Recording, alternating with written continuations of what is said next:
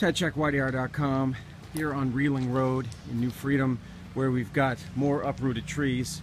Just absolutely huge trees. Look at this. I don't know if you can uh, really take in the size of this tree here, but it's massive.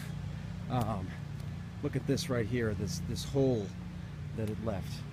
Um, and there's just, there's another one. Get over this tree. There's another tree right here.